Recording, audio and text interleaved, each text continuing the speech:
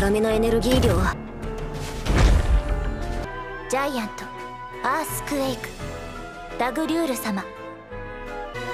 クレイマンよ。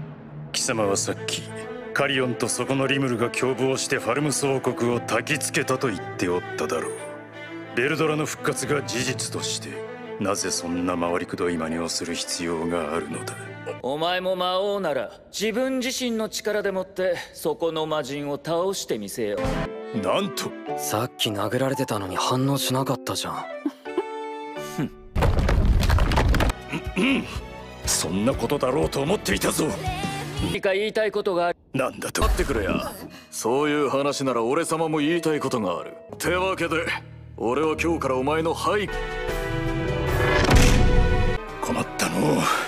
威厳的な問題としてまた新たな名称を考えねばなるまいよ。えさすがよな。ベルドラが推薦するだけのことはある。ジャイアントアースクエイクダグリュール様。